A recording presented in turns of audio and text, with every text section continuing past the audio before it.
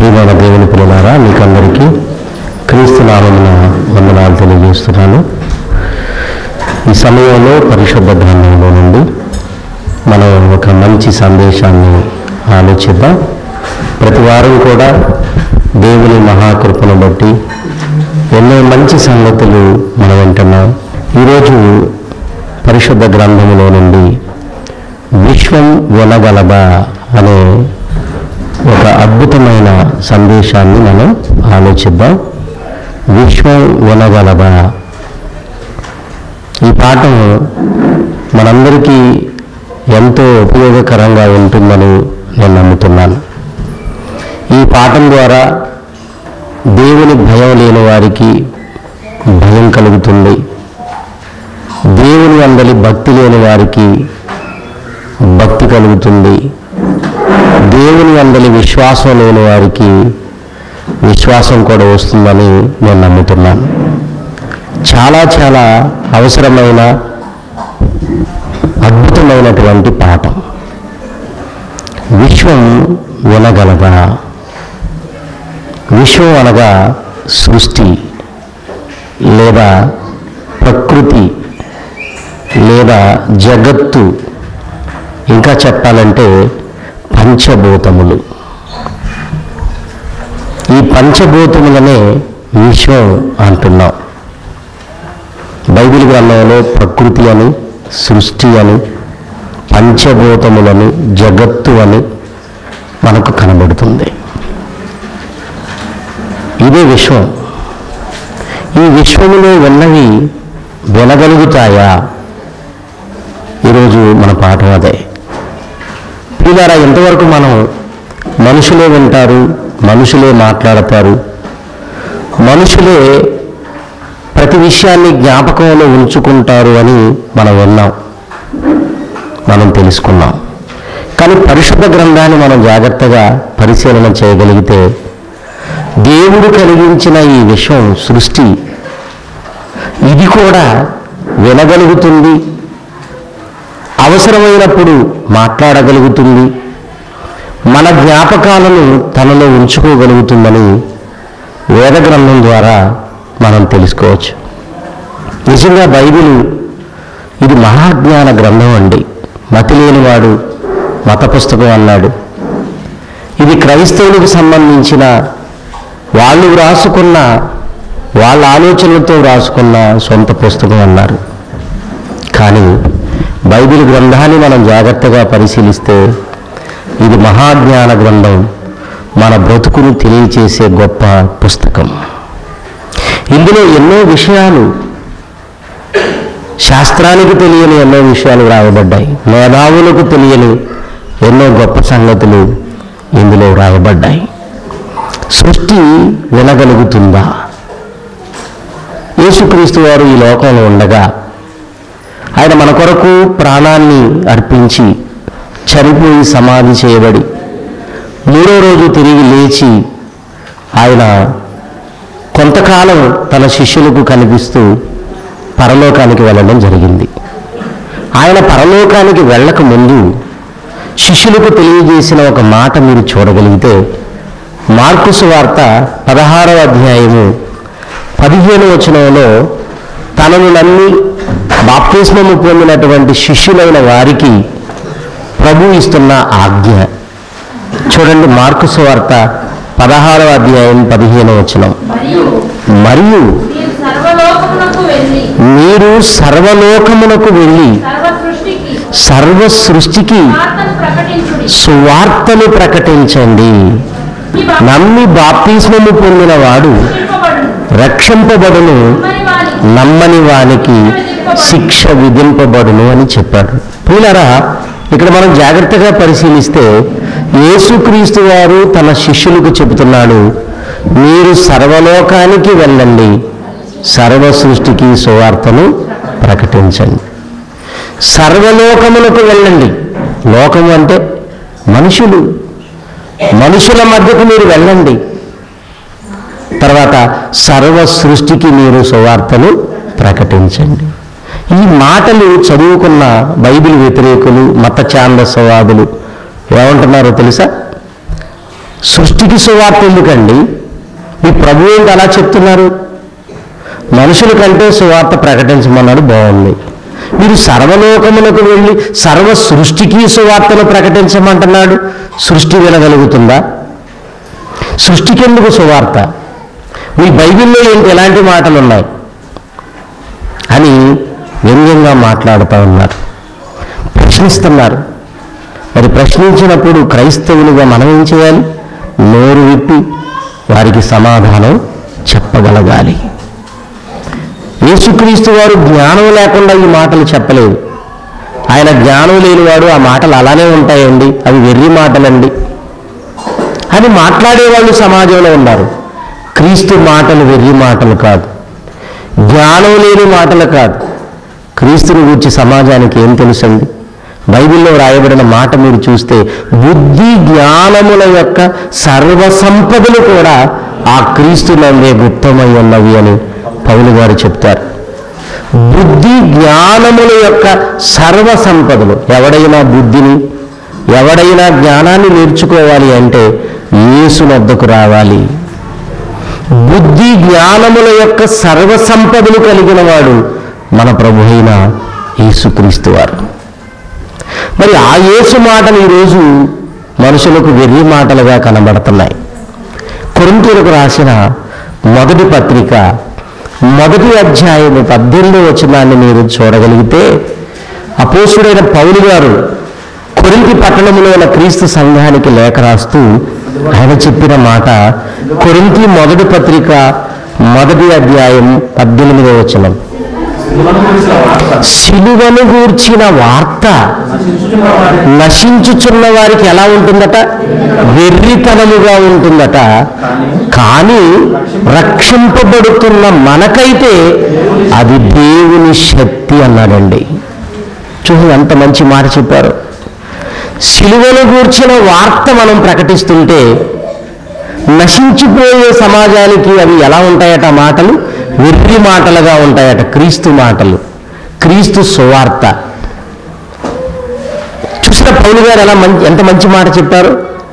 క్రీస్తును గూర్చినటువంటి వార్త సిలువను గూర్చిన వార్త నశించుచున్న వారికైతే అది వెర్రితనముగా ఉంటుంది రక్షింపబడుతున్న మనకైతే అది దేవుని శక్తి.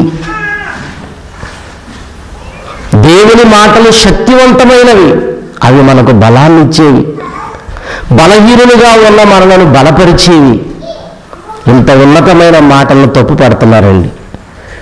సర్వలోకమునకు వెళ్ళి సర్వ సృష్టికి సువార్తను ప్రకటించమని మీ ప్రభువు చెబుతున్నాడు. సృష్టికి సువార్త ఎందుకు? సృష్టి ఏమైనా వింటుందా అని మాట్లాడుతున్నారండి. అజ్ఞానముగా మాటలాడు మూర్ఖుల నోరు మూయించుట దేవుని చిత్తమని వేద గ్రంథములో వ్రాయబడింది. ఇందుకు మనం ఆలోచించాలి? విశ్వం వినగలుగుతుందా? ఈ సృష్టిలో ఉన్నవి వినగలుగుతాయా? అని మనం ఆలోచిస్తే సృష్టి వింటుంది సృష్టిలో ఉన్నవి మాట్లాడతాయి సృష్టిలో ఉన్న వాటికి జ్ఞాపక శక్తి కూడా ఉందని పరిశుద్ధ గ్రంథం తెలియజేస్తుంది. ప్రియమైన దేవుని పిల్లలారా మనకు బైబిల్లో ఒక వాక్యం తెలుసు. యహోవా ప్రతి వస్తువును దాని దాని పని నిమిత్తము కలుగ చేశాడు అంటే సృష్టిలో ఉన్న ప్రతి వస్తువుకి ఏముంది? పని ఉన్నది. పని చేయమని ఎవరు చెప్పారు? దేవుడు చెప్పాడు. దేవుడు చెప్పిన మాటను విని సృష్టిలో ఉన్నదంతా కూడా దేవుని పనిలో నిమగ్నమైపోయింది. ఒక్కసారి ఆది కాండము. మొదటి అధ్యాయం తొమ్మిదో వచనం నుండి చూడండి. ఆది కాండము మొదటి అధ్యాయము తొమ్మిదో వచనాన్ని చూడగలిగితే ప్రియులారా దేవుడు దేవుడు ఆకాశము క్రిందనున్న జలము. ఒక చోటనే కూర్చబడి నేల ఆరిన నేల కనబడునుగాక అని పలుకగా ఆ ప్రకారమాయను దేవుడు ఆరిన నేలకు భూమి అని పేరు. పెట్టెను. జలరాశికి ఆయన. సముద్రములని పేరు. పెట్టెను. అది మంచిదని దేవుడు- చూచాను. దేవుడు దేవుడు భూమికి చెబుతున్నాడు చూడండి. గడ్డిని విత్తనములిచ్చు చెట్లను భూమి మీద తమ తమ జాతి ప్రకారము తమలో విత్తనములు గల ఫలమిచ్చు ఫలవృక్షములను భూమి మొలిపించునుగా కాని పలుకగా ఆ ప్రకారమైన భూమి గడ్డిని తమ తమ జాతి ప్రకారము విత్తనములిచ్చు చెట్లను తమ తమ జాతి ప్రకారము తమలో విత్తనములు గల ఫలవృక్షములను మొలిపింపగా అది మంచిదని దేవుడు చూసను ప్రియమైన దేవుని పిల్లలారా మీరు ఆలోచించగలిగితే దేవుడు భూమిని కలుగజేశాడు. ఈ సృష్టిని చేసే క్రమంలో మూడో దినమున ఆయన భూమిని చేశాడు. ఈ భూమిని చేసిన తర్వాత భూమికి ఏం చెప్తున్నాడు? నా పిల్లల కోసం నీవు విత్తనములిచ్చు చెట్లను మొలిపించాలి గడ్డిని పశువుల కోసం గడ్డిని విత్తనములిచ్చు చెట్లను నీవు మొలిపించాలి అని ఆ రోజే దేవుడు చెప్పాడండి. మరి ఆ మాటలు దేవుని మాటలు విన్నదా? భూమి విన్నది. విన్నది కనుకనే భూమి ఏం చేస్తుందట? భూమి గడ్డిని తమ తమ జాతి ప్రకారము విత్తనములిచ్చు చెట్లను తమ తమ జాతి ప్రకారము తమలో విత్తనములు గల ఫలవృక్షములను మొలిపింపగా అది మంచిదని దేవుడు చూశాడు ఆయన ఆజ్ఞాపించాడు అది చేయడం ప్రారంభించింది. జాగ్రత్తగా వినాలి. దేవుని మాట విన్న భూమి ఆనాటి నుండి ఈనాటి వరకు గడ్డిని విత్తనములిచ్చు చెట్లను మొలిపిస్తూనే ఉంది. సృష్టి వినగలగా ఈ విశ్వం వినగలగా అని ప్రశ్నించే వాళ్ళకు మనం చెప్పాలి. దేవుడు చెప్పిన మాటలు వినబట్టే ఈ రోజు వరకు సృష్టి మన కోసం ఎన్నో విత్తనములిచ్చు చెట్లను మొలిపించగలుగుతుంది. మనం బ్రతకగలుగుతున్నాము. మనం బ్రతుకుతున్నామంటే దేవుని మాటే. భూమికి దేవుడు ఆజ్ఞాపించగా ఆజ్ఞాపించిన సమస్తాన్ని భూమి ఇప్పటి వరకు జరిగిస్తుంది. దేవుని మాటలను జ్ఞాపకంలో పెట్టుకొని. ఇంతవరకు దేవుని మాటను ధిక్కరించకుండా భూమి దేవుని మాటకు లోబడి విత్తనములిచ్చు చెట్లను మొలిపిస్తూనే ఉంది ప్రియులారా. పద్నాలుగు వచనం చూడండి. ఆది కాండము మొదటి అధ్యాయం పద్నాలుగు వచనం. దేవుడు పగటిని రాత్రిని వేరుపరచునట్లు ఆకాశ విశాలమందు జ్యోతులు కలుగునుగాకని అవి సూచనలను కాలములను దిన సంవత్సరములను సూచించుటక ఉండుగాకని భూమి మీద వెలిగిచ్చుటకు ఏమివ్వాలట? భూమి మీద వెలిగిచ్చుటకు అవి ఆకాశ విశాలమందు జ్యోతుల ఇండుగాకని పలికను. ఆ ప్రకారమాయను దేవుడు ఆ రెండు గొప్ప జ్యోతులను అనగా పగటిని ఏలుటకు పెద్ద జ్యోతిని రాత్రిని ఏలుటకు చిన్న జ్యోతిని నక్షత్రములను చేర్చను భూమి మీద వెలుగిచ్చుటకును పగటిని రాత్రిని ఏలుటకును వెలుగును చీకటిని వేరుపరచుటకును దేవుడు ఆకాశ విశాలమందు వాటిని ఉంచను. దేవుడు ఏం చెప్పాడు? సూర్యుని చంద్రుణ్ణి నక్షత్రాలను కలుగు చేసినప్పుడు వాటికి దేవుడు ఆజ్ఞాపించినది ఏంటంటే మీరు నా పిల్లలకు వెలుగివ్వాలి భూమి మీద వెలిగించుట కొరకే మిమ్మల్ని నేను చేశాను. నా పిల్లలు చీకట్లో ఉండకూడదు. నా పిల్లలకు వెలుగు కావాలి. చూసారా? నా పిల్లలు వెలుగులో తమ పనులు తాము చేసుకోవాలి. సాయంకాలానికి సూర్యుడు అస్తమించాలి. చీకటి పడితే నా పిల్లలు రెస్ట్ తీసుకోవాలి. వాటి పని ఏంటండి? భూమి మీద వెలుగివ్వాలి. మరి సూర్యుడు చంద్రుడు నక్షత్రాలు ఈ మాటలు విన్నాయా? విన్నాయి కనుకనే ఆ రోజు నుండి ఈ రోజు వరకు మన కోసం వెలుగునిస్తూనే ఉన్నాయండి. వెలుగుతానే ఉన్నాయండి. ఎందుకంటే అది దేవుని మాట. దేవుడు ఆజ్ఞాపించాడు వాటికి. ఆ దేవుని ఆజ్ఞను మనసులో భద్రపరుచుకొని తమ జ్ఞాపకంలో ఉంచుకొని ఆనాటి నుండి ఈనాటి వరకు భూమి మీద ఉన్న దేవుని పిల్లలకు వెలుగిస్తూనే ఉన్నాయండి. ఆలోచించాలి ప్రియమైన దేవుని పిల్లలారా. సృష్టిలో ఉన్నవి వినగలుగుతాయా అంటే దేవుడు చెప్పిన మాట వినబట్టే వాటి వాటి పనుల్లో ఇప్పటి వరకు అవి నిమగ్నమైపోయి ఉంటున్నాయి. నా పిల్లలకు కాలం రావాలి. కాలం రావాలంటే మీరు తిరగాలి. భూమి తిరగాలి సూర్యుడు తిరగాలి చంద్రుడు తిరగాలి నక్షత్రాలు తిరగాలి. సూచనలు రావాలి నా పిల్లలకు. దిన సంవత్సరాలు నా పిల్లలు లెక్కలు కట్టుకోవాలి కనుక మీరు తిరుగుతూ భూమి మీద ఉన్న నా పిల్లలకు వెలుగునివ్వాలి. ఆ రోజు నుండి ఈ రోజు వరకు తిరుగుతూనే ఉన్నాయి వెలుగిస్తూనే ఉన్నాయండి. సృష్టిలో ఉన్నవన్నీ దేవుని మాటలు వింటున్నాయండి. ఒక్క మనిషినండి దేవుని మాట వినటం లేదండి. ఒక్క మనిషినండి దేవుని మాట పట్టించుకోవడం లేదండి. విన్నా పట్టి పట్టనట్టుగా బ్రతుకుతాడండి మనిషి. ప్రియమైన దేవుని పిల్లలారా సృష్టిలో ఉన్న వస్తువులు ఈ విశ్వము వినగలుగుతుంది. ఒక్కసారి సంఖ్యాకాండం. ఇరవయో అధ్యాయం. ఏడవ వచనము నుండి ఎనిమిదో వచనం వరకు చదువుదాం ప్రియులారా. సంఖ్యాకాండం ఇరవయో అధ్యాయము ఏడు నుండి ఎనిమిది వచనాల వరకు మనం చూడగలిగితే అంతటా యెహోవా మోషేకు ఇలాగ ఎలాగున సెలవిచ్చను. నీవు నీ కర్రను తీసుకొని నీవును నీ సహోదరుడైన అహరోనును ఈ సమాజమును పోగు చేసి వారి కన్నుల ఎదుట ఆ బండతో మాటలాడుము అది నీళ్ళిచ్చును నీవు వారి కొరకు నీళ్ళను బండలో నుండి రప్పించి సమాజములకును వారి పశువులకును త్రాగుటకిమ్ము అన్నాడండి. మోషే గారితో దేవుడు మాట్లాడుతూ ఉన్నాడు. ఇస్రాయేలీలు ఐగుప్తు నుండి కనాను దేశానికి ప్రయాణం చేస్తున్నారు. వాళ్ళకు నీళ్ళు లేవు త్రాగడానికి. ఏమండి? త్రాగడానికి నీళ్ళు లేవు. వాళ్ళందరూ వచ్చి మోషే గారి దగ్గర అడుగుతున్నారు. మమ్మల్ని ఈ అరణ్యంలో చంపుటకు తీసుకొచ్చారా? మాకు నీళ్ళు లేవు. మేము ఎలా బ్రతకాలి? మేమేం త్రాగాలి? అని మాట్లాడుతున్నప్పుడు దేవునికి మొరపెట్టాడు మోషే. ఆ దేవుడు మోషే గారి యొక్క ప్రార్థన ఏమంటున్నాడు? నీవును నీ సహోదరుడైన ఆరోనును నీ కర్రలు చేత పట్టుకొని పోయి నీకు కనబడుతున్నటువంటి ఆ బండతో మాటలాడాలి. ఏమండి? అక్కడ ఏమన్నాడు? ఎనిమిది వచ్చిన నీవు నీ కర్రను తీసుకొని నీవును నీ సహోదరుడైన అహరోనును ఈ సమాజమును పోగు చేసి వారి కన్నుల ఎదుట ఆ బండతో మాటలాడుము అది నీళ్ళు ఇచ్చును. బండతో మాట్లాడితే బండ నీళ్ళు ఇస్తుందా బండతో మాట్లాడితే ఆ బండ వినగలుగుతుందా? వినగలుగుతుంది కనుకనే మాట్లాడమన్నాడండి. బండతో మాట్లాడుము అది వింటుంది నీకు నీళ్ళిస్తుంది. ఎంత అద్భుతమైన మాట. ఏమండి బండలు వింటాయా అని మీరు అనుకోవచ్చు. బండలు వింటాయండి. మనం ఆ బండ దగ్గరికి వెళ్ళి పచ్చిబూతులు మాట్లాడుతుంటాం. ఆ బండల దగ్గరికి కొండల దగ్గరికి వెళ్ళి పిచ్చి పిచ్చి పనులని చేస్తుంటాం. అప్పుడు ఆ బండలు నిజంగా మీ మాటలు విని మీ మాటలను మనసులో భద్రపరుచుకుంటూ ఉంటాయి.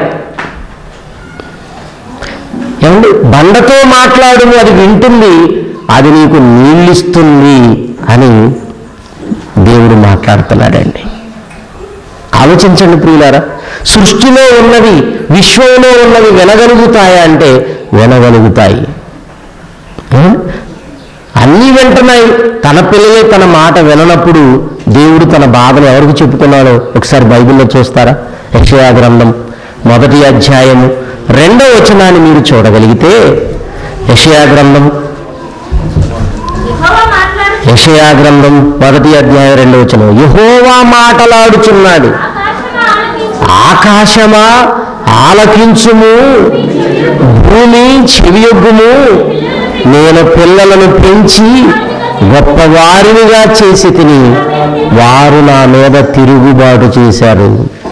ఎద్దు తన కామాందునెరుగును తన కామాందునెరుగును గాడిద తన సొంత వాని దొడ్డి తెలుసుకొనును. నా ప్రజలైన ఇస్రాయేలీలకు తెలివి లేదన్నాడండి ఏమైనా అర్థమైందా మీకు? దేవుని పిల్లలు దేవుని మాట విననప్పుడు తన బాధను ఎవరికి చెప్పుకుంటున్నాడు? తన మీద తిరుగుబాటు చేసినప్పుడు తనను పట్టించుకోకుండా బ్రతుకుతున్నప్పుడు ఎవరికి చెబుతున్నాడు దేనికి చెబుతున్నాడంటే ఆకాశానికి చెప్తున్నాడు. ఆకాశమా ఆలకించుము. భూమి చెవియొగ్గుము నేను పిల్లలను పెంచాను గొప్పవారినిగా చేశాను అంటున్నాడండి. నా పిల్లలను ప్రకృతిలో చాలా గొప్ప చేశాను కానీ వాళ్ళు నా మీద తిరుగుబాటు చేశారు ఆకాశమా. భూమి చెవియొగ్గుము నా పిల్లలు నా మీద తిరుగుబాటు చేశారు. ఎద్దు కంటే హీనంగా మారిపోయారు. గాడిదల కంటే హీనంగా మారిపోయారు. నా ప్రజలైన ఇస్రాయిలీలకు తెలివి లేకుండా పోయిందని తన బాధను చెప్పుకుంటున్నాడండి. ఆలోచించండి ప్రియుల మన పిల్లలు మన మాట వినప్పుడు మన మన గూడు మన మన యొక్క బాధనంతా కూడా ఇరుగు పొరుగు వారితో పంచుకుంటాం. తన పిల్లలైన వారు తనకు కాకుండా పోయినప్పుడు తన మాట వినప్పుడు తన ప్రక్కనే ఉన్న తాను నిర్మాణం చేసినటువంటి ఆ ప్రకృతికి చెప్పుకుంటున్నాడండి ఆయన. ప్రకృతికి చెబుతున్నాడండి ఆకాశమా? ఆలకించు. భూమి? చెవియొగ్గు అంటున్నాడండి. మరి ఆకాశం వినగలుగుతుందా? ఆకాశం ఆలకించగలుగుతుందా? భూమి చెవియొగ్గి వినగలుగుతుందా? అవి వింటాయి కనుకనే దేవుడు మాట్లాడుతున్నాడు. ఏమండి? విశ్వం అంటే పంచభూతాలు అని అని విన్నాం కదా. పంచభూతాలు అంటే ఏంటండి? నింగి నేల నీరు నిప్పు గాలి. జాన్సన్ విక్టర్ గారి యొక్క దయ వలన పంచభూతాలు అంటే మనకి ఈజీగా అర్థమవుతుంది పాటలోనే పెట్టేశాడు కదండి. నింగి నేల నీరు నిప్పు గాలి. ఇవి చేసింది ఎవరో నీకు? తెలుసు తెలుసునా? మింగి అంటే ఆకాశం. నేల. ఈ మింగితో నేలతో దేవుడు మాట్లాడుతున్నాడండి. అంటే పంచభూతాలు వినగలుగుతాయని. వినగలవు.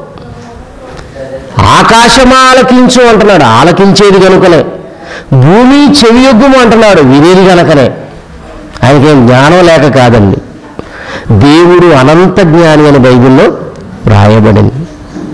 ప్రియులారా ఆయన కలిగించినటువంటి ఈ సృష్టిలో ఉన్న వస్తువులు వినగలుగుతాయి. ఎద్దు తన కామాన్లు ఎరుగును అన్నాడు చూడండి. కామాన్లు అంటే యజమాని. ఎద్దుకు యజమాని తెలుసా? తెలుసండి. యజమానిని గుర్తుపడుతుంది. యజమానికి లోబడుతుంది. ఒక ఎద్దు. పశువులను చూడండి. ఏమండి ఈ వేసవి కాలం వచ్చేసరికి పశువులన్నింటినీ పొలాల్లో వదిలేస్తారండి. అప్పుడు పంటలు ఉండవు కదండి.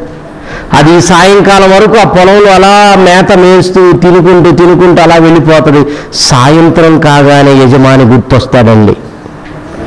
నాకు ఒక యజమాని ఉన్నాడు నాకు ఒక ఇల్లుంది నన్ను కట్టేసే స్థలం ఒకటి ఉంది నేను అక్కడికి వెళ్ళాలని వెంటనే వెనకకు తిరిగి యజమాని ఇంటికి వస్తూ ఉంటుందండి. ఆ యజమాని నల్లగా మసిబుగ్గులాగా ఉన్నా ఆ యజమాని మంచి పర్సనాలిటీ లేకపోయినా యజమానికి సరైన ఇల్లు లేకుండా పూరి గుడిసే ఉన్నా దానిని భయంకరమైన రుచులు కట్టేస్తున్నా దానికి ఎంత విశ్వాసం అంటే ఎండుగడ్డి వేస్తున్నాడు కదండి. ఏదో గడ్డి పెడుతున్నాడు కదండి. ఎంత విశ్వాసం అండి. మనం తినగా మిగిలిపోయిన పాచిపోయిన ఆహారం పెడతామండి పశువులకి. అయినా సరే ఎంత కృతజ్ఞత అండి. సాయంకాలానికి యజమాని గుర్తొస్తాడు. అడుగుల్లో అడుగు వేసుకుంటూ అలా అలా నడుచుకుంటూ యజమాని ఇంటికి వస్తుంది. ఈ జగైపేటలో పెద్ద పెద్ద భవనాలు ఉన్న ఆ భవనాల్లో ఉన్న వాళ్ళ దగ్గరికి వెళ్ళదది. ఆ భవనంలోనికి వెళ్ళదు. తన యజమానికి పూరి గుడిసే ఉన్నా అక్కడికే వచ్చి నిలబడుతుంది. ఎంత కృతజ్ఞత. ఎద్దుకు యజమాని తెలుసు? మనుషులకు దేవుడెవరో తెలుసా? దేవుడెవరంటే ఎన్ని మాటలు చెప్తారండి. ఎన్ని పేర్లు వస్తాయండి. అందుకే పశువులకు యజమాని ఎవరో తెలుసును మనుషులకు దేవుడెవరో తెలుసునా అని పాట రాశాడు. దేవుడెవరో తెలియదు సృష్టికర్త ఎవరో తెలియదు. ఎవరిని నమ్మాలో తెలియదు ఎవరిని అనుసరించాలో తెలియదు. జ్ఞానం లేనివాడుగా తయారైపోడు. అందుకే ఆకాశం ఆలకించుము అంటున్నాడండి. గాడిద తన సొంతవాని బట్టి తెలుసుకుంటుంది. పశువులకి ఎంత జ్ఞానం అండి. పశువులు చూడండి యజమానులు తీసుకుంటేనే పాలిస్తాయి. ఇంకొకటి గనక తీసుకుని పాత్ర తీసుకుని వెళ్ళి అక్కడ పోయి కూర్చున్నాడు ఒక తన్నుడు అంతాయి నువ్వెవడోరా? గడ్డేసావా నన్ను ఏదైనా చూస్తున్నావా? నువ్వెవరు వచ్చావు? నా యజమానికే పాలిస్తా.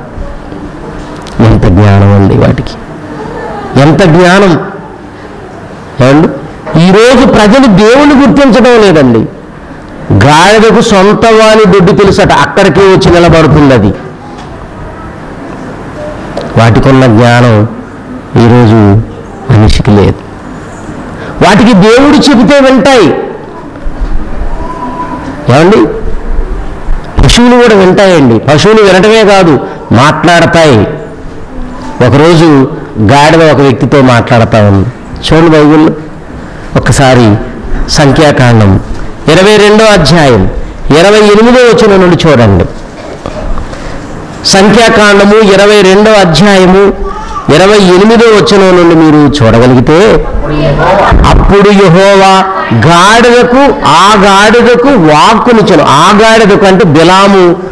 ఏ గాడిద మీదైతే వెళుతున్నాడో ఏ గాడిదనైతే కొడుతున్నాడో ఆ గాడిదకు వాక్కునిచ్చాడటండి కనుక అది నీవు నన్ను మూడు సార్లు కొట్టావు. లెక్క పెట్టుకొని గుర్తుపెట్టుకుందండి అవునా?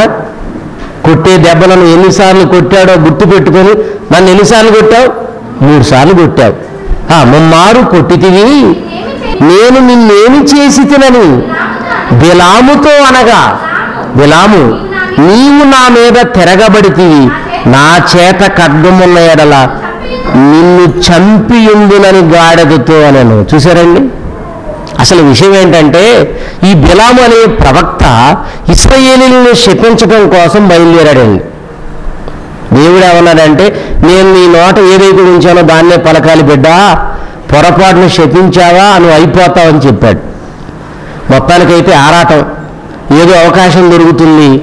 నేను శపిస్తే ఆ యొక్క రాజు బాలాకు రాజు నాకు చాలా ధనాన్ని ఇస్తాడు బంగారం ఇస్తాడు గొప్పవాళ్ళు అయిపోతాను. ఇస్రాయిల్ని శపించాలి వాళ్ళని బలహీనులుగా చేయాలని చెప్పి బయలుదేరాడు.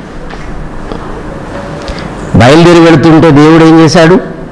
వాడికి బాగా పిచ్చి పట్టింది వాడి సంగతి చూడమని దేవదూతకు ఖడ్గాన్ని ఇచ్చి పంపించాడండి. ఇతను వెళుతున్న దారిలో ముందుకొచ్చి నిలబడ్డాడు దేవదూత దూచిన ఖడ్గము చేత పట్టుకొని భీకరమైన ఆకారంతో. ఆ నిలవబడి ఉండటం ఎవరు చూశారు? గాడిద చూసింది. ఈ గాడిద కనపడటం లేదు. ఆ గాడిద చూసింది. చూసి రెండు అడుగులు కనుక వేశానా? నా యజమాని పని అయిపోద్ది. చచ్చిపోతాడని చెప్పి ఆ యజమాని మీద ఉన్న ప్రేమతో అది అడుగులు కూడా వేయట్లేదండి. పక్కకు వెళుతుంది ఇటు పక్కకు వెళుతుంది ఇరుకు సందులోకి వెళుతుంది చివరికి ఎటు వెళ్ళటానికి కుదరక కూలబడిపోయిందండి. ఇతనేమో కొట్టేస్తున్నాడు. కొడుతుంటే దేవుడు ఏం చేశాడు గాడిదకి? వాక్కునిచ్చాడు. అంటే గాడిదలు మాట్లాడతాయా అని మీరు అనుకో అనుకో అని ప్రశ్నిస్తే ఏమండి దేవుడు వాక్కునిచ్చినప్పుడు అవి కూడా మాట్లాడతాయి. గాడిద వినగలుగుతుందా? గాడిద గాడిద గుర్తుపెట్టుకోగలుగుతుందంటే గుర్తుపెట్టుకోలే కదా మూడు సార్లు కొట్టావని చెప్పానన్నది నీవు నన్ను ముమ్మారు కొట్టితివి నేను నిన్నేమి చేసి తినని అడిగినప్పుడు ఎలాము నీవు నా మీద తిరగబడితివి. నా చేత ఖడ్గమున్న ఎడల నిన్ను చంపి ఉందినని గాడెత్తాను అప్పుడు అదేమనుకోండి? నీ చేతిలో ఖడ్గం ఉంటే నన్ను చంపడం కాదు ఇప్పుడు దేవదేవ చేతిలో ఖడ్గం ఉంది. నువ్వు నేను రెండు అడుగులు వేస్తే. అనుకుంటుంది. తర్వాత ఏమంటుందో చూడండి చూడండి. అందుకు గాడిద నేను నీదానమైనది మొదలుకొని ఈ సంభాషణ చూడండి ఎలా ఉందో. నేను నీదానమైనది మొదలుకొని అంటే నువ్వు నన్ను కొన్నావు నీ సొంతం చేసుకున్నావు. ఆ రోజు నుండి నీదానమైనది మొదలుకొని నేటి వరకు నీవు ఎక్కుచూ నాపై ప్రయాణం చేసిన నీ గాడిదను కానా? నేనెప్పుడైనా నీకిట్లు చేయుట కద్దా అని విలాముతో అనగా లేదులే అంటున్నాడు. మళ్ళీ భలే మాట్లాడుతున్నారని. ఎన్నడూ మాట్లాడని గాడిది ఈ రోజు ఎలా మాట్లాడగలుగుతుందని చెప్పి ఆలోచనలో పడాల్సింది పోయి దాంతో ముచ్చట్లు పెడుతున్నాడు చూడండి. మీ పశువులు ఏ రోజు మాట్లాడలేదు కానీ ఒక రోజు మాట్లాడుతుంటే హలో బ్రదర్ బాగున్నారా? అంటే ఎలా ఉంటుంది? ఏమండి బాగున్నారా? ఏంటి గడ్డి తెచ్చావా? పచ్చి దొరకలేదా? అంటుంటే ఎందుకంటే తెచ్చావా? అంటుంటే ఎలా ఉంటుంది? ఏ రోజు మాట్లాడని ఈ పశువు ఎలా మాట్లాడుతుంది ఆశ్చర్యపోతాం కదండి ఆ పిచ్చిలో ఉన్న ఇతను దానితో మాట్లాడుతున్నాడండి. అంటే సృష్టిలో ఉన్నవి మాట్లాడగలుగుతాయా అంటే మాట్లాడగలవు. మరి ఎందుకు వాటి నోరు మూయించాడు చెప్పమంటారా? ఏమండి అన్నీ మాట్లాడుతున్నాయి అనుకోండి మన ఇంట్లో ఉన్న పిల్లి మన ఇంట్లో ఉన్న బల్లి నల్లి దోమ చీమ ఏమండి పశువులు అన్నీ మీ ఇంట్లో గోడలో ఉన్న రాళ్ళు ఇటుకలు ఈ పిల్లర్స్ అన్నీ మాట్లాడుతున్నాయి అనుకోండి. వింటావు నువ్వేం నిద్రపోతావు. అవునా? అన్నీ మాట్లాడుతుంటే నువ్వు ఎలా ఉండగలవు? దేవుని ప్రేమండి అందుకే వాటన్నిటిని ఆ వాటి నోరు బంద్ చేశాడు. ఆగండి నేను చెప్పినప్పుడు మాట్లాడుతురు కానీ ప్రస్తుతం నా పిల్లలు ప్రశాంతంగా గడపాలి. అసలు మనుషులు మాట్లాడుతుంటేనే పిచ్చెక్కిపోద్ది మనకు. ఎంత వద్దన్నా పిల్లలు చూడండి మాట్లాడుతూనే ఉంటారు. మాకు పిచ్చెక్కిపోతూ ఉంటుంది. మరి వీటితో పాటు అన్నీ మాట్లాడుతుంటే సృష్టిలో ఉన్నవన్నీ శబ్దాలు చేస్తూ మాట్లాడుతుంటే మనం ఎక్కడ బ్రతకగలం? ఎలా బ్రతకగలం? అసలు ఆ సౌండ్లు ఆ శబ్దాలు వినగలుగుతామా? ఆ మాటలు వినగలుగుతామా? పిచ్చెక్కిపోద్ది. అందుకే నా పిల్లలు ప్రశాంతంగా ఉండాలి కనుక ఇప్పుడు ప్రస్తుతం మీరు మాట్లాడొద్దు. వినండి. వినే పనిలో ఉన్నాయండి. జ్ఞాపకం పెట్టుకునే పనిలో ఇవన్నీ నిమగ్నమైపోయాయి ప్రియమైన దేవుని పిల్లలారా. హబక్కుకు గ్రంథం. రెండవ అధ్యాయం. పదకొండవ వచనం చూడండి. హబక్కుకు గ్రంథం. రెండవ అధ్యాయం పదకొండవ వచనం. గోడలలోని రాళ్ళు ఏంటి దేవుడికట రాళ్ళు మొరపెడుతున్నాయటండి. ఏ గోడలు? మీ ఇంట్లో ఉన్న గోడల్లో ఉన్న రాళ్ళే అవునా? ఇంట్లో ఉన్న ఇంటికి కట్టుకుంటాం కదండి రాళ్ళతో కట్టుకుంటాం కదండి. ఆ రాళ్ళ మధ్య ఉండి మనం తప్పుడుగా మాట్లాడుతుంటే తప్పుడు పనులు చేస్తుంటే అవి దేవుడికి మొరపెడుతున్నాయట దేవా. చూసావా నీ పిల్లలు ఎలా ఉన్నారు? గోడలలోని రాళ్ళు మొరపెడుతుంటే పైన దూరంలో చూసారా? ఇంతకుముందు మన మన పెద్దలు మన తల్లుల కాలంలో అన్ని పూరిళ్ళు ఎక్కువ ఉండేవండి. ఇలాంటి మంచి భవనాలు కట్టుకుంటున్నాం కానీ ఏమండి? ఈ మాటలు రాయబడిన కాలంలో అన్నీ కూడా రాళ్ళతో కట్టబడి ఇళ్ళు తర్వాత పైన బోలములతో పైన చక్కగా కప్పు వేసుకొని బ్రతికేవాళ్ళండి. ఆ ఇళ్ళలో నివాసం ఉండేవాళ్ళు. గోడలలోని రాళ్ళు దేవుడికి మొరపెడుతుంటే దానికి పైన ఉన్న దూలములట అవును ప్రభువా అవును మేము కూడా పైనే ఉన్నాం. వాడి తప్పుడు మాట మాట్లాడుతుంటే పైన మేముండి విన్నాం. సాక్ష్యం. ఏమండి? ఎవరో అన్నారు పెద్దలు అది. ఎందుకన్నారో తెలియదు గోడలకు చెవులు ఉంటాయని. తెలిసి అన్నారో తెలియకన్నారో తెలియదు కానీ నిజంగా గోడలు వింటాయండి గోడలలోని రాళ్ళు మనం మాట్లాడుకుంటున్న తప్పుడు మాటలని విని దేవుడికి మొరపెడుతున్నాయట. ఆ బోలాలు కూడా పైనుండి. అవును ప్రభా మేము వింటున్నాం మేము వింటున్నాం. నిజమే. ఏమంటే దూలములు వాటికి ప్రత్యుత్తరం ఇచ్చుచున్నవి. ఇటు రాళ్ళు వింటాయా? ఏమండి? రాళ్ళు వింటాయా? అవునండి. రాళ్ళు వినడమే కాదు రాళ్ళు మాట్లాడతాయని యేసుక్రీస్తు వారు చెప్పారు. చూడండి ఒక్కసారి లూకా రాసిన సువార్త పంతొమ్మిదో అధ్యాయం ముప్పై ఎనిమిదో వచనం నుండి చూడండి ప్రియులారా. లూకాసు వార్త పంతొమ్మిదో అధ్యాయము ముప్పై ఎనిమిదో వచనం నుండి మీరు చూడగలిగితే యేసుక్రీస్తు వారు ఎరుసలేముకు వస్తున్నారండి. ఆ ప్రక్కనున్న శిష్యులు ఆయన ప్రక్కనున్న శిష్యులు ఏమంటున్నారు? ప్రభు వచ్చు పేరిట వచ్చు రాజు స్థుతింపబడును గాక. పరలోకమందు సమాధానమును గాక మహిమయు ఆ, ఉండును కాక. ఉండును గాక తాము చూసిన అద్భుత క్రియలన్నిటిని గూర్చి మహాశబ్దముతో దేవునికి స్తోత్రము చేయసాగిరి ఆ సమూహములో ఉన్న కొందరు పరిచయులు వీళ్ళకి బాధ కలిగిందట. శిష్యులేమో ప్రభు పేరట వచ్చేవాడు రాజు స్థుతింపబడును కాకని క్రీస్తును స్థుతిస్తూ గనపరుస్తుంటే కొంతమందికి బాధ కలిగిందండి. ఎవరు? పరిచయులు బోధకుడా నీ శిష్యులను గద్దింపును ఈ కేకలు వేసేది ఎవరు? ప్రభు పేట వచ్చేవాడు స్థుతింపబడుగా కానీ చెప్పేదెవరు? శిష్యులు. ఏమంటున్నారండి? బోధకుడా నీ శిష్యులను గద్దింపుమని ఆయనతో చెప్పగా ఆయన వారిని చూచి వీరు ఊరకుండిన ఎడల ఈ రాళ్ళు కేకలు వేయునని మీతో చెప్పుచున్నాను ఏమని? ప్రభు పేట వచ్చి రాజు స్థుతింపబడులు కాక అని అంటాయట రాళ్ళు. వీళ్ళు చెప్పే మాటలు రాళ్ళు చెప్తాయట. ఏంటండి? రాళ్ళు వినటమే కాదండి రాళ్ళు మాట్లాడగలవు. ఇది బైబిల్ చెప్పిన పచ్చి నిజం. దేవుడు వాక్కులిస్తే అన్నీ మాట్లాడగలుగుతాయి.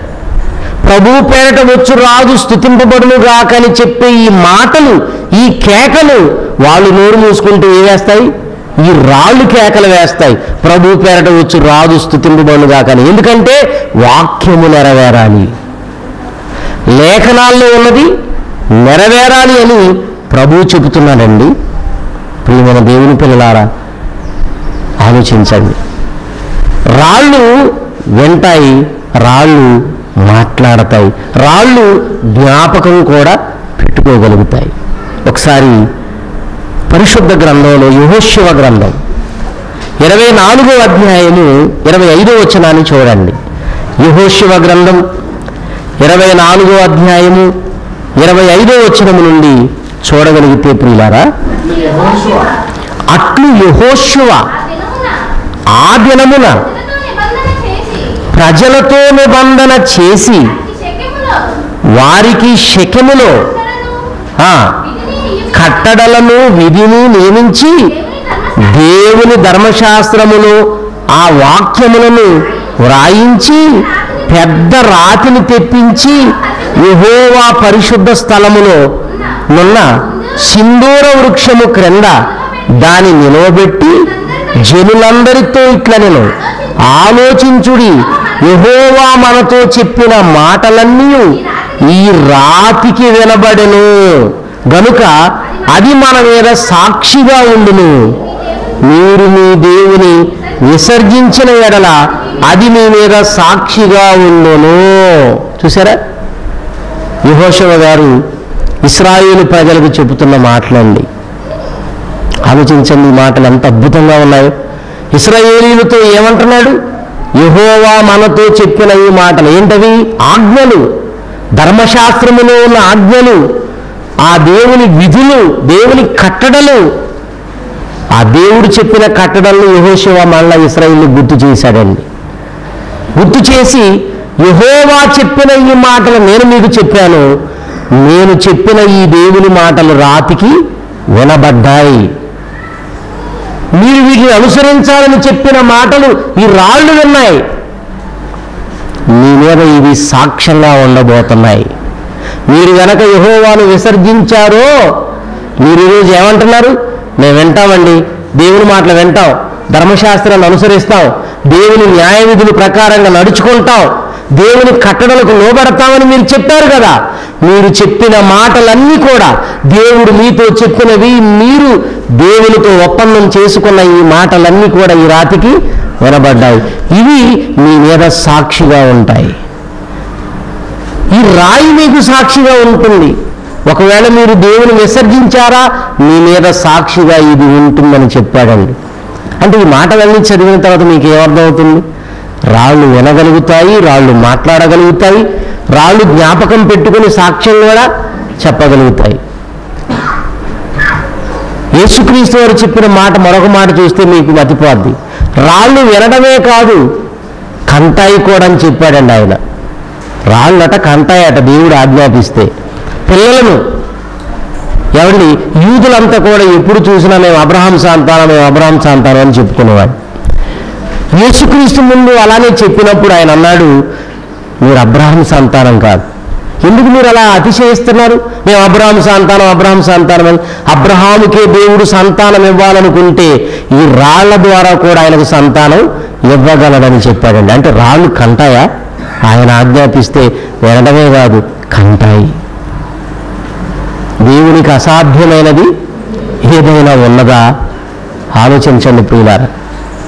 దేవుని మాట ద్వారా కలిగినటువంటి విశ్వం వినగలుగుతుంది. విశ్వములో ఉన్నవన్నీ వెంటాయి. మార్కు సువార్త చూడండి నాలుగో అధ్యాయం. ముప్పై ఏడో వచనము నుండి ముప్పై తొమ్మిదో వచనం వరకు మీరు చూడగలిగితే అక్కడ యేసుక్రీస్తు వారి మాటలు మనకు కనబడతాయండి.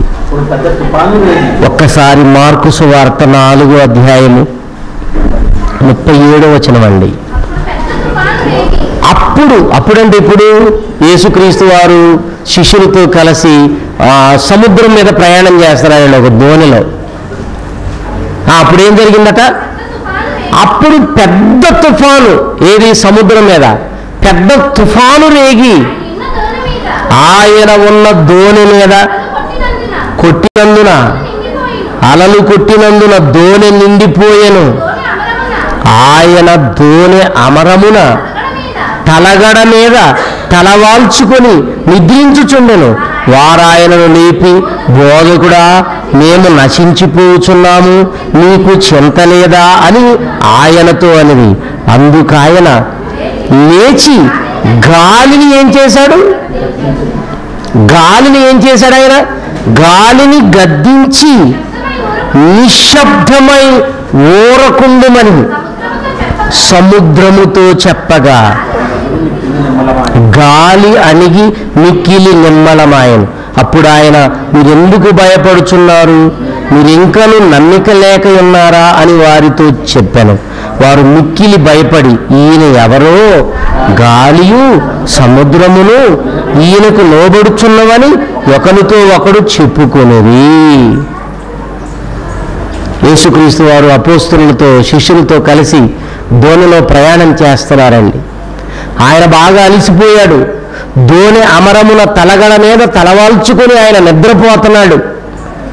ఈ సందర్భంలో ఆయన నిద్రపోతున్న సమయంలో పెద్ద తుఫాన్ రేగిందండి సముద్రం మీద. ఆ తుఫాన్ వచ్చేటప్పుడు చూడండి అలలు ఓ ఎగిసి పడతా ఉంటాయండి గాలికి. పెద్ద పెద్ద అలలు. ఏమండి? పది అడుగులు ఇరవై అడుగులు ముప్పై అడుగులు ఎత్తులు పెద్ద పెద్ద అలలు వస్తుంటాయండి సముద్రం మీద. ఆ అలల చేత ఏమండి ఈ దోని నీళ్ళతో నిండిపోయింది.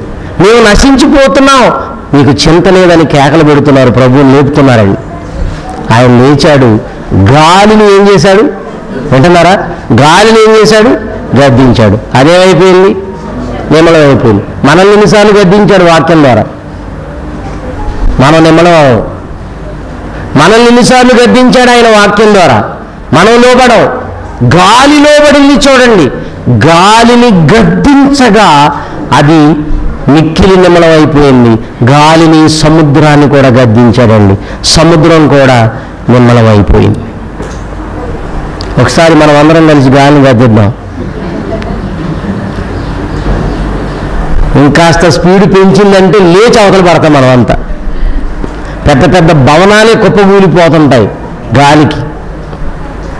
ప్రియమైన దేవుని పిల్లవారా ఆలోచించండి. పెద్ద పెద్ద చెట్లు ఏమంటే బలమైన బలమైన చెట్లు పెద్ద పెద్ద వృక్షాలు నేల కొరిగిపోతుంటాయండి గాలికి. మనమెంతండి? ఆయన గాలిని గద్దిస్తే అది నిమ్మలమైపోయిందట సముద్రాన్ని గద్దించగా అది కూడా నిమ్మలమైపోయిందండి పంచభూతాలలో గాలి నీరు కూడా ఉంది కదండి. నిజంగా విశ్వం వినగలుగుతుందా అంటే వినగలుగుతుంది ప్రియమైన దేవుని పిల్లలారా. గాలి విన్నది నీరు కూడా విన్నది. వినగలుగుతుందా? అవునండి వినగలుగుతుంది. ఈ విశ్వం వినగలుగుతుంది అని మనం తెలుసుకోవాలి. మరొక మంచి సందర్భాన్ని చూడండి మత్తైసు వార్త పదో అధ్యాయము. పద్నాలుగు వచనం నుండి మీరు చూడగలిగితే మత్తైసు వార్త పదో అధ్యాయము పద్నాలుగు పదిహేను వచనాలలో ప్రభు శిష్యులతో చెప్పిన మాటలు మనకు అక్కడ కనబడతాయి. ఎవడైనను మీరు సువార్తకు వెళుతున్నారు కదా ఇద్దరిద్దరిని పంపుతున్నాడండి ఆయా గ్రామాలకు ఆయా పట్టణాలకు శిష్యుల్ని ఇద్దరిద్దరుగా పంపుతున్నాడండి జాగ్రత్తగా వెళ్ళండి. నా మాటలు ప్రకటించండి. ఎవరికి భయపడకండి. దేవుడున్నాడు పర్వాలేదు. అని చెబుతూ ఆయన ఏమంటున్నారంటే ఎవడైనను మిమ్మల్ని- చేర్చుకొనక. మీ మాటలు వినకుండా ఎడల. మీ- మీ మాటలు వినకుండిన ఎడల మీ మాటలు వినకుండిన ఎడల. మీరు ఆ ఇంటినైనను ఆ పట్టణమునైనను విడిచిపోయేటప్పుడు మీ పాదాల ధూళుండే దులిపివేయి దాన్ని అక్కడే దులిపేయండి. మీరు అక్కడ మీ దుమ్ము దులిపేయండి మీ మీ పాదాలకున్న ధూళి దులపండి. ఆ తర్వాత వాళ్ళ దుమ్ము నేను దులుపుతా. అంతేనా ఇప్పుడు విమర్శ సమయమున ఆ పట్టణపు గతి కంటే సుధమ గొమర్రాల ప్రదేశముల గతి. కాస్త బెటర్గా ఉందనుకుంటారు మీరు. నిశ్చయముగా మీతో చెబుతున్నాను అన్నాడండి. చూసారా? ఇద్దరిద్దరుగా పంపుతున్నారండి మీరు వెళ్ళండి సువార్త ప్రకటించండి. మీరు వెళ్ళిన చోట మిమ్మల్ని ఎవరైనా తమ ఇంట చేర్చుకోకపోతే నా పేరున వెళ్తున్నారు కదా నా పక్షాన మీరు వెళ్తున్నారు కదా ఎవరైనా మిమ్మల్ని గృహంలో చేర్చుకోనకుండా మిమ్మల్ని పట్టించుకోకుండా ఉంటే మీరేం చేయాలంటే మీ మాటలు వినకుండా ఉంటే మీరేం చేయాలంటే మీ పాదాల ధూళి సాక్షార్థంగా అక్కడ దులిపేసిరండి ఇప్పుడు ఆ ధూళి ఆ మాటలు వాళ్ళు వినకపోయినా ఆ ధూళికి వినబడ్డాయి గనక అది సాక్ష్యార్థంగా ఉంటుంది అది రేపు సాక్ష్యం చెప్తుంది విమర్శ సమయంలో తీర్పు జరిగే రోజు వాళ్ళ అంతు నేను చూస్తానంటున్నాడండి. ఇది పాదాల కంటిలో ధూళి కూడా ఏమండి వినగలుగుతుందా? గుర్తు పెట్టుకోగలుగుతుందా సాక్ష్యం చెప్పగలుగుతుందా అంటే చెప్పగలదు ప్రియమైన దేవుని పిల్లలారా. అంత శక్తి సామర్థ్యాలు ఈ విశ్వంలో ప్రతి వస్తువుకు దేవుడు పెట్టాడు. విమర్శ సమయమున నేను వాళ్ళకి శిక్ష విధిస్తానన్నాడు. ఆ శిక్ష ఎలా ఉంటుందంటే మీరు ఆలోచిస్తే సుధమోగమరాల వారి ఆ వారికి విధించబడిన శిక్ష కొంచెం తక్కువేమో అనిపిస్తుంది. సుధమోగమర పట్టణాన్ని ఏం చేశాడు? అగ్నిగంధకాలు కురిపించి నాశనం భస్మం చేశాడండి. ఎవరైతే దేవుని సేవకులను తమ ఇంట చేర్చుకోరో ఎవరైతే దేవుని సేవకుల మాటలు వినరో పట్టించుకోరో. వాళ్ళ గతి ఎలా ఉంటుందట సుధముగమురాల గతి కంటే సుధముగమురాల వాళ్ళ గతి వాళ్ళ గతి ఓరవరగుండే ఉంటుంది వీళ్ళకంటే అంటే వీళ్ళకి విధించే శిక్ష మామూలుగా ఉండదన్నమాట. అందుకే దేవుని సేవకుల మాట వినాలి. అది దేవుని మాట గనక. దేవుని మాటలు వినాలి. దేవుని మాటలు పట్టించుకోవాలి. దేవుని మాటల ప్రకారంగా బ్రతకాలి. రేపు దేవుని సేవకుల పాదాల కంటిన ధూళిందే అది ప్రతి ఒక్కరిపై సాక్ష్యం పలుకుతుంది. ఇదిగో ప్రభువా నీ సేవకుడు ఆ ప్రాంతాలకు వెళ్ళి వాక్యం చెప్పినప్పుడు వీళ్ళయ్యా నీ మాట వినకుండా పోయింది. వీళ్ళనయ్యా నేను విసర్జించింది. వీళ్ళనయ్యా నీ సేవకుని తిరుగుబాటు చేసింది. వీళ్ళనయ్యా నీ సేవకుని చేర్చుకోకుండా వాళ్ళు పట్టించుకోకుండా ఉన్నది. ఎంతవరకు మనం పట్టించుకుంటున్నాం? ఏమండి? మన కుటుంబం కోసం మనం ఆలోచిస్తాం. మన పిల్లల కోసం ఆలోచిస్తాం. మన కోసం కష్టపడుతున్న సేవకులను ఎప్పుడైనా మనసులోకి తెచ్చుకుంటావా మనం? ఎప్పుడైనా ఆలోచిస్తావా వాళ్ళ కోసం మనం? ప్రియమైన దేవుని పిల్లలారా ఆలోచించండి. నిజంగా దేవుని సేవకులను చేర్చుకుంటే ఎవరిని చేర్చుకున్నట్టో తెలుసా? యేసుక్రీస్తుని మన ఎంట చేర్చుకున్నట్టండి. ఈ నా సహోదరులలో ఒకరిని మీరు చేర్చుకున్నారు గనక నన్ను చేర్చుకున్నట్లే అనలేదా ప్రభు? నేను ఆకలి కొన్నాను. మీరు నాకు దా ఆ ఆహారం పెట్టారు. నేను దప్పిక కొన్నాను. మీరు నాకు దాహమునికి ఇచ్చారు. నేను వస్త్రహీనుడనై ఉన్నాను. మీరు నాకు వస్త్రాలు ఇచ్చారు. పరదేశమై ఉన్నాను. నన్ను చేర్చుకున్నారు. మనకు సేవకులు గుర్తురారండి వస్త్రాలైనా మన పిల్లలే గుర్తొస్తారు తిన్నైనా మన పిల్లలే గుర్తొస్తారు ఖర్చు పెట్టే విషయంలో పిల్లలే గుర్తొస్తారు. దేవుని సేవ కానీ సేవకులు కానీ గుర్తురారండి.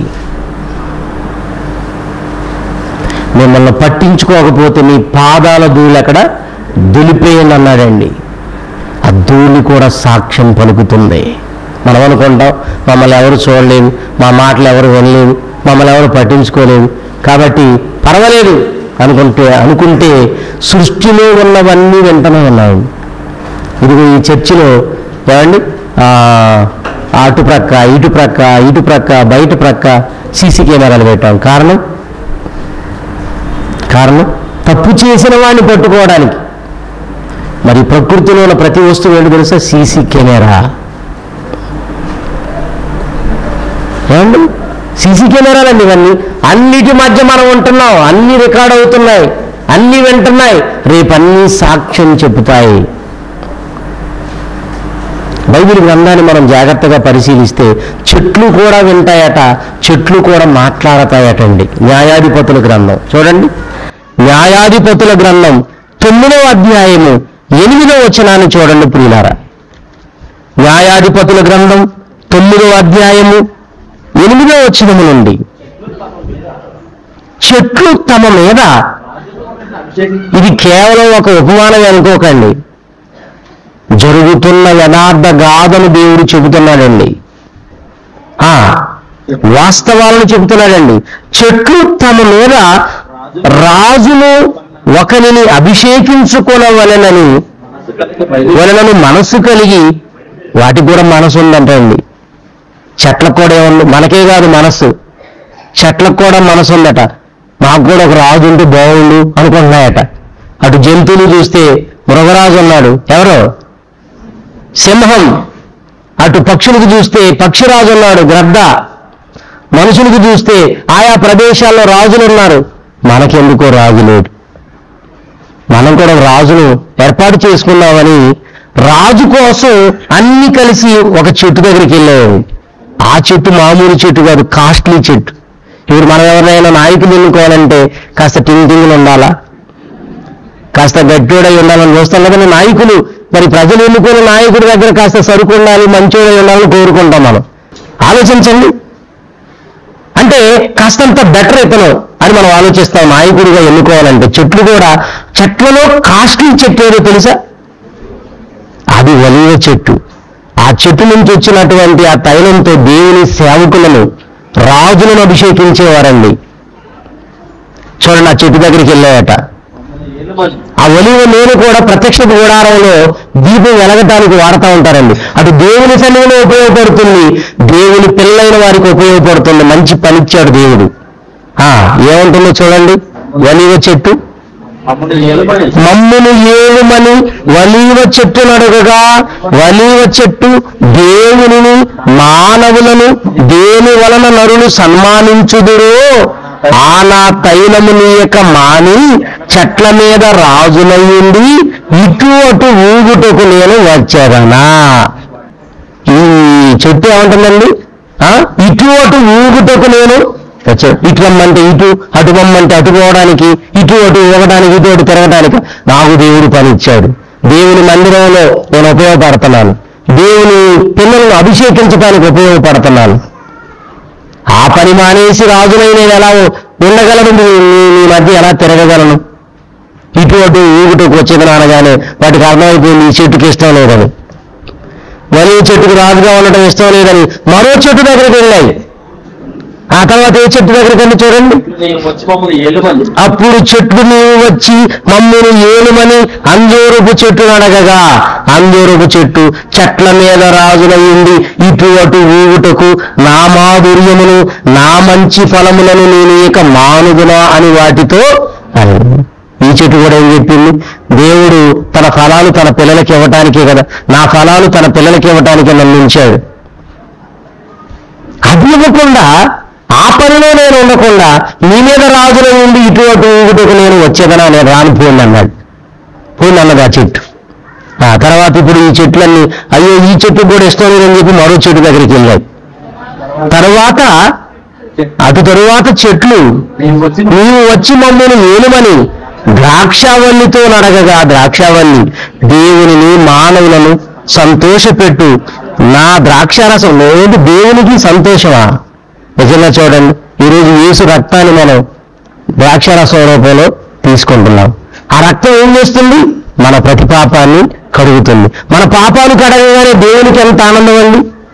మన పాపాలు కడగబడ్డాయంటే మనకెంత ఆనందం? అటు దేవునికి ఆనందమే? ఇది మనకు ఆనందం. నీ పాపాలను దేవుడు క్షమించాడంటే ఆనందమా కాదా?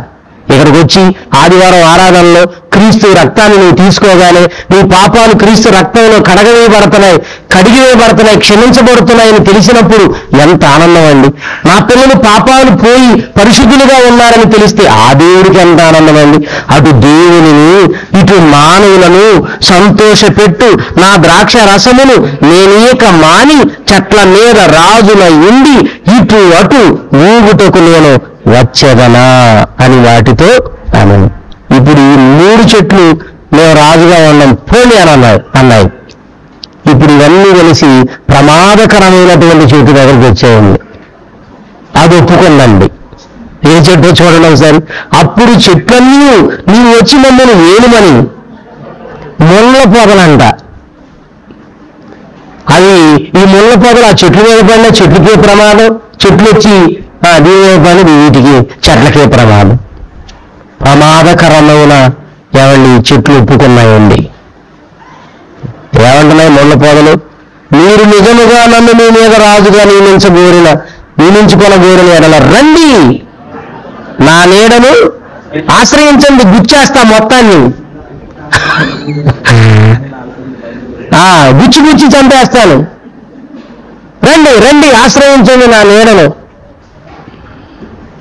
చూసారా ఈ సందర్భాన్ని చాలా మంది చదువుకుని బైబిల్ ఏంటని ఎలాంటివన్నీ అని అంటున్నారు అది అర్థం లేని మాటలు ఏంటని అంటున్నారు. ప్రియమైన దేవుని పిల్లలారా దేవుని జ్ఞానాన్ని మీరు ఆలోచించాలి. చెట్లు మాట్లాడగలవు. చెట్లు మాట్లాడగలవు. రెండు వేల పన్నెండో సంవత్సరం ఏప్రిల్ నెల పన్నెండవ తేదీన ఆంధ్రజ్యోతి ఏమండి న్యూస్లో ఆ న్యూస్ పేపర్లో ఒక ప్రకటన వచ్చింది. ఆ హెడ్లైన్లో చెట్లు మాట్లాడుకుంటాయి అని పెట్టారు. ఏమైనా శాస్త్రవేత్తలు పరిశోధనలు చేసి చెట్లు ఏం చేస్తాయట? మాట్లాడు. కానీ ఆ భాష మనకు అర్థం కాదు. అర్థం కాకపోతే మాట్లాడుకోనట్టే మాట్లాడుకోనట్టేనా? చెట్లు మాట్లాడుకుంటాయి అని ప్రకటన ఇచ్చారండి. రెండు వేల పన్నెండు ఏప్రిల్ పన్నెండవ తేదీన డేట్ రాసుకొని మీరు ఆ పత్రికలో చూడండి చెట్లు మాట్లాడుకుంటాయి. టైటిల్. ప్రియమైన దేవుని పిల్లారా బైబిల్లో ఉన్నవన్నీ వాస్తవాలండి. కట్టుకథలు కావు. కట్టుకథలు కావు. ఈ సృష్టిలో ఉన్నవి వినగలవా అంటే వినగలవు. ఎలా వినగలవు? ఎందుకు వినగలుగుతున్నాయి? ప్రశ్న. ఈ సృష్టిలో ఉన్న ఈ పంచభూతాలు ఏవో కాదు. ఇవన్నీ దేవదూతలండి. అందుకే వినగలుగుతున్నాయి. ఒకసారి హెబ్రిలకు రాసిన పత్రిక. మొదటి అధ్యాయము ఏడు ఎనిమిది వచనాలను చూడండి ప్రియాల హెబ్రిలకు రాసిన పత్రిక మొదటి అధ్యాయము ఏడు ఎనిమిది వచనాలను మీరు చూడగలిగితే తన దూతలను వాయువులు వాయువు అంటే గాలి వాయువులు గాను వాయువులు అంటే గాలులు గాలు కూడా రకాలు ఉంటాయి కదండి. చల్లగాలి లేదంటాం పైరగాలి పెనుగాలి రకరకాల గాలులు. అవునా? చూడండి అక్కడ. తన దూతలను వాయువులు గాను తన సేవకులను అగ్ని జ్వాలలు గాను చేసుకొనివాడు. ఆయనే తన దూతలను అని తన దూతలను గూర్చి దూతలను గూర్చి చెప్తున్నాడట ఏమని? అమ్మా దూతలను గూర్చి చెప్తున్నాడట ఏమని? నా దూతలను. ఏమండి దూతలంటే వాళ్ళ ఆత్మలు కదండి. ఆత్మలు ఏ రూపంలోకైనా మారిపోగలరండి. అంటే దేవదూతలనే గాలిగాను దేవదూతలనే అగ్నిగాను దేవదూతలనే నీళ్ళుగాను దేవదూతలనే ఏమండి? ఆ ఆకాశముగాను దేవదూతలనే భూమిగాను మలిచేశాడండి దేవుడు. అందుకే ఆకాశమా? ఆలకించు. భూమి ప్రియమైన దేవుని పిల్లలు. మరి దేవదూతలు వింటాయా? వింటాయి. మాట్లాడతాయా? మాట్లాడతాయి. జ్ఞాపకం పెట్టుకోగలవా? పెట్టుకోగలుగుతాయి. ఈ పంచభూతములు భూతము అంటే ఆత్మ భూతములు అంటే ఆత్మలు. పంచభూతాలంటే ఐదు ఆత్మలు. ఈ ఆత్మలు ఏవో కాదు దేవుని దూతలు. ప్రకటన జలముల దేవదూత గురించి రాయబడింది. అంటే జలములు కూడా దేవదూత గాలి దేవదూత అగ్ని దేవదూత భూమి దేవదూత ఆకాశం. పంచభూతములు ఏవో కాదు దేవదూతలు అందుకే అవి వినగలవు వినే శక్తి ఉంది మాట్లాడగలిగే శక్తి ఉంది. ఆయా రూపాల్లోనికి దేవుడు మార్చివేశాడు ఒకరోజు వాటికి నోరిస్తాడు అవన్నీ మన మీద సాక్ష్యం పలుకుతాయి. మీకు ముందే చెప్పాను ఈ పాఠం మనలో భయాన్ని మనలో భక్తిని మనలో విశ్వాసాన్ని కలిగిస్తుందని నా నమ్మకం అని నేను చెప్పాను. నిజంగా ఈ మాటలు మీకు అర్థమైతే మనం మాట్లాడే ప్రతి మాట మనం చేసే ప్రతి పని సృష్టిలో ఉన్న వస్తువులు చూస్తున్నాయి వింటున్నాయి జ్ఞాపకంలో ఉంచుకుంటున్నాయని తెలిస్తే దేవుని అన్ని భయభక్తులు కలిగి బ్రతకగా మానం మనం. కాబట్టి ప్రియులారా సృష్టిలో ఉన్నవన్నీ దేవుని మాటలు వింటున్నాయి మన మాటలు వింటున్నాయి. మనమే వినకుండా పోతున్నాం. కాబట్టి మన మనసు మార్చుకొని ఎప్పటి నుండైనా దేవుని మాటలు విని దేవుని వల్ల భయభక్తులు కలిగి ఈ సృష్టి అంతా మన మీద సాక్ష్యం పలకబోతుందని నేను తెలుసుకొని సృష్టిలో ఉన్న ప్రతి వస్తువు కూడా వినగలుగుతుంది రేపు దేవుని ముందు నా కోసం సాక్ష్యం పలకగలుగుతుందని మీరు నమ్మితే ఆ దేవుని కోసం గొప్పగా బ్రతకండి. పరలోక రాజ్యానికి వారసులు కండి.